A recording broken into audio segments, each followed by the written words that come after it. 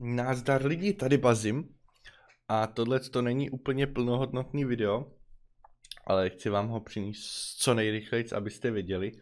Vy, co určitě se zajímáte, furt stále věříte ve, ve hru Daisy Stand Alone, tak jistě víte, že právě byl stres test na 63 verzi, což je vlastně verze úplně s novým enginem a sami developeri to říkají jako Daisy 2.0.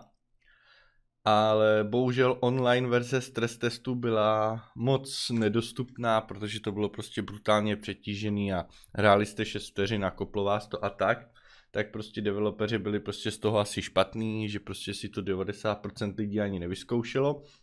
Tak umožnili tenhle ten jejich developerský build vlastně v offlineu, abyste si ho prostě mohli zkusit sami v offlineu, podívat se, co je novýho, jak to funguje a tak. Takže si v rychlosti ukážeme, jak na to.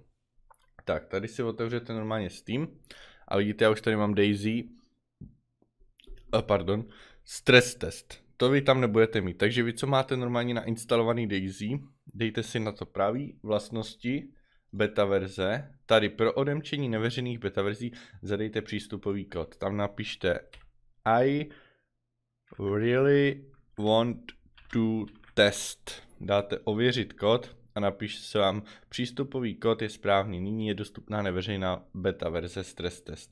Takže tady, jak máte třeba experimental a tak, tady si vyberete stress test, dáte zavřít, hra asi stáhne 6 GB, v případě, že hru nemáte nainstalovanou, tak 12 GB. A pak můžete normálně spustit, a nedáte tohle a dáte Play Daisy offline a dáte hrát. Hra se vám okamžitě spustí a vy můžete začít hrát. Tak jak jsem právě zjistil, tak bohužel hra se v offlineu neukládá, takže ne, neslouží to fakt na nějaký progres, abyste si dělali, což je škoda, protože jsem měl zrovna u sebe nějaký věci, které bych vám rád ukázal.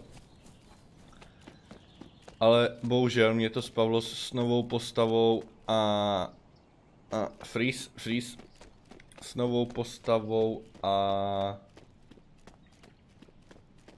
úplně někde jinde. Takže nevím, jestli dokážu najít třeba nějaký pití, což je moc zajímavý. Každopádně spoustu věcí tady prostě jako nefunguje, jo? Je to fakt jenom developerská testovací verze. Abyste se mohli podívat, co je novýho a tak. Což určitě na první pohled vidíte. První, co pocítíte, je to ovládání, protože to ovládání je prostě daleko lepší. Tam to bylo takový klanky, nebo jak tomu říkají, a fakt to, ne, fakt to nepůsobilo dobře. A koukám, koukám, že ale když si nastavíte tu hru, tak to zůstává, tak aspoň něco. To už je taky pěkná změna, když se skrčíte a otáčíte se, vidíte, tak úplně, ale náboje, úplně jiná animace a za zomba. A když to podržíte, tak si lehnete a to má taky úplně jinou animaci. Ukážeme si to spíš venku. Takže podržím to, jde hnedka na zem. A jak vidíte, tak úplně krásný animaci, žádný to divný všechno. A když to podržím, tak se zvedne úplně celý. Tady Vidíte, to ještě nemají asi hotový animace na to braní zbr zbraní do ruky, ale aspoň už to není, že to musíte tisíckrát zmáčknout, že když to zmáčknete, tak než se ta animace dokončí, tak vám postava běhá dopředu.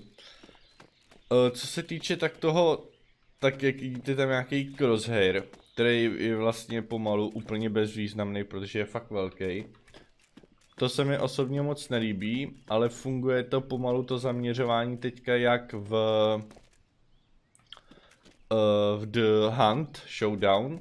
Takže držím pravý, zaměřím takhle přes třetí, pak zmá, zmáčknu moje nastavené tlačítko a zaměřím, o oh, tam je pití, nice, a zaměřím prostě takhle vlastně, že jo, do zaměřovače.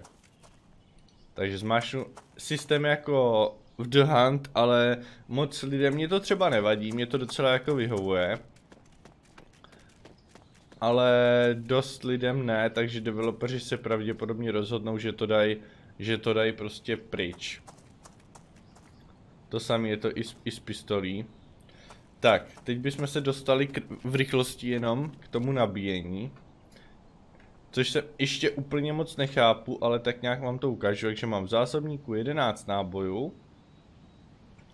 Takže, jak můžete vidět, tak já můžu ty Rkem takhle a ty náboje prostě vyhážu. Takže já je všechny vyhážu.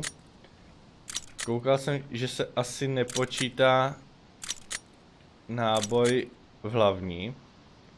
Takže já zkusím. Tak, teď mám zásobník nulu. Jo, a v hlavní jsem ještě měl, super. Doufám, že nepřijdou zombie. Teď, vidí, teď je i vidět, že jo... Oh shit. A, nemám nabito. Oj, oj, oj, oj, oj. Tak pojď. I ty zombíci samozřejmě, že jo, mají ještě nedostatky, to říkali, ale můžeme být rádi, že do, do té offliney na, nám je aspoň dali. To předtím šel na tři rány a teďka jako... Dobrý, umři. Tak. Na té zbraní, na té animaci. Jo, vidíte, teď jsem to prostě to, nevím jak to popsat, ale stejně jakoby. Tak, čili teď. Já můžu vzít sedle. Jsou ty náboje? Ne. Tady ty. Já můžu... Oh no, tady ty. Jo. Takhle vzít. Tak. A teď dal do, do hlavně. Do komory. Tak tam jednu šoupnul. A je můžu jak to a, a zase nic, vidíte? Čili, abych to prostě nabil, takže nejde vzít ty náboje a dát je do zásobníku. Takže já si ten zásobník vyndám. Jo, mohl bych i ukázat. A tady i vidíte, jakoby, jak se tam dává. Takže ta animace je plus minus stejná. A já zbraň uklidím, vezmu si zásobník do ruky a pak buď můžu takhle to přetáhnout, ale je dobrý to mít tady v lištičce. Podržím tu čtyřku, kde mám tu lištičku a tady mi to nabídne levý tlačítko Load Magazine Hold. Takže držím a už to tam láduje. 3, 4, 5, 6, 7, 8, 9, 10, 11, 12. Naládoval to tam. A zase, můžu zásobní, vezmu si zbraň do ruky a takhle a dám kombinovat. Takhle pěkná animace a nabije zbraň. To samý tady. Tady nemám, nemám to. Když zmáčknu R jenom, tak buď vyhodím náboj, nebo se prostě podívá, jestli tam je. Takže tyhle náboje mám na dvojce, takže já podržím dvojku. A hned ho tam, hned ho tam šoupne ten náboj. Co je trošku divný, tak levým CTRL se drží dech, ale ten dech prostě oka okamžitě insta se to přestane hejbat. Ani žádná menší delay, jakože zadrží dech, prostě okamžitě instant se to přestane hejbat. Ale říkám, to jsou takový fakt to působí jako Daisy 2.0. Ale kam šel ten zombík? Už. A je down. Jo, hele, už to jí cvaká, to mi předtím necvakalo. A zase podržím dvojku. Bum, bum, bum. A zombík je mrtvý. O, co to měl u sebe? Can open, nevím proč to sbírám, když se to neukládá. Tak, to je jedna určitě ze zásadních věcí a teď bych vám ukázal systém vlastně pití, což se mi zdá úplně, úplně luxusní oproti tomu, jak to bylo. Že dřív jste na to klikli pravým, dali drink, vypilo to 25% nebo drink all a vypilo to všechno prostě.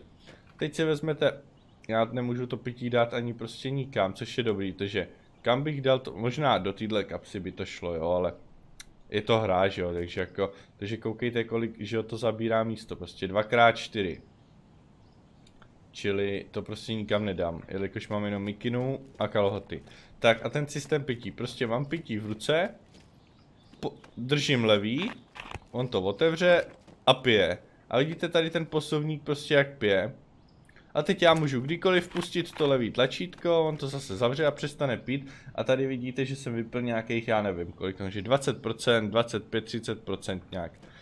A pak zase podržím levý, otevře to a teďka začne pít. Vypiju třeba půlku Jinak myslím si, že v této offline verzi nefungují prostě hlad, pití a tak. Jinak byste viděli vpravo dole takový nový ikonky, třeba taková kapka a když má hodně žízeň, tak jsou tam tři čárky, když mín dvě čárky a když velmi málo jedna čárka a když vůbec a je napitej, tak tam není žádná čárka, je to zelený. Teď vidíte, že už mám v té lahvi prostě jen nějakých 30%. Takže já zase budu pít a ten posuvník už pojede daleko rychlejc, protože už tam je málo pití, takže já vypiju zase půlku. Přestanu pít, nějakých 10% tam je. A zase se napiju a už to pojede fakt, vidíte, už to jede fakt hrozně rychle, protože už tam bylo fakt málo. Zavře to, automaticky ani nezahodí tu prázdnou lahev, fakt ji musíte vzít a zahodit. Jinak normální házení téčkem jako trou ještě nefunguje. Ale to nikdy nebylo potřebný. Takže to, tenhle systém toho pití je fakt luxusní, ten se mi moc líbí. Animace ještě mají co... Jo, Valting, Valting bohužel, bohužel je vyplay, že tam byl nějaký bug, tak prostě udělali, že, va, že takhle vlastně přes překážky přeletíte. Takže Vaulting si bohužel neukážeme. Otevírání dveří je bezproblémový, rychlý, žádná delay. Offline verzi aby byla, že jo, ale co jsem hrál tu online verzi stres testu, tak tam taky žádná delay nebyla v otevírání dveří.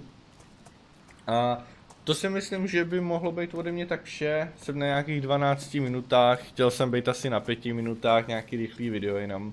Takže doufám, že se vám to líbilo a milovníci Daisy a kdo ještě jste úplně nezanevřel na Daisy Standalone, tak určitě doporučuji vyzkoušet, protože tohle je nová éra Daisy a je to pro ní as, asi, ne asi, určitě největší update a taková ta poslední záchrana. Takže já jsem Bazim, díky za sledování, loučím se s váma a uvidíme se u dalšího videa. Ciao.